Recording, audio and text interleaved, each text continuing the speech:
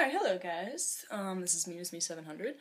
I just wanted to make a complete information video about myself. I don't really have anything like that. So, start off, my name is Grace. I'm 17 years old, and I've been collecting Pokemon for about two and a half years.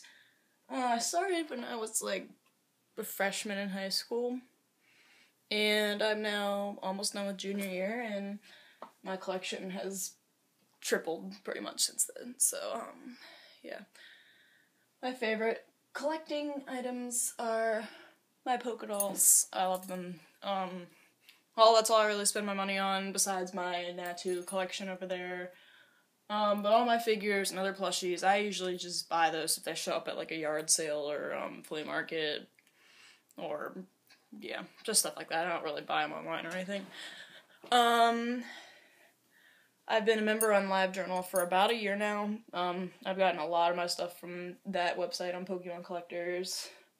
If you're not familiar with it, it's basically just a Pokemon collection website for collectors to share their collections and sell and brag.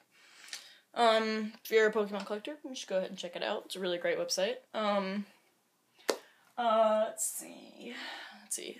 Besides my Pokemon collection, um, I am an artist, so I do lots a bunch of different things. Mostly into graphic arts, which is like Photoshop and computer art and all that. Um, I plan to minor in that in college eventually.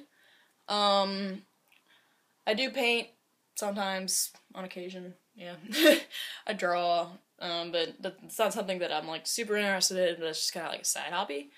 Um, I plan on majoring in biology um, in college. I would love to be a vet one day, but chances are that's not going to happen because it is very hard to get into vet school.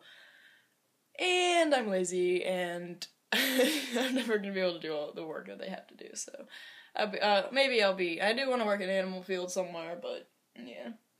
So, alright, guys, that's pretty much me. Um, there's really nothing else that I need to add. If you have any other questions, just leave it in the comments and I'll make another video. I can make a Q&A video, so yeah, thanks for watching. Bye.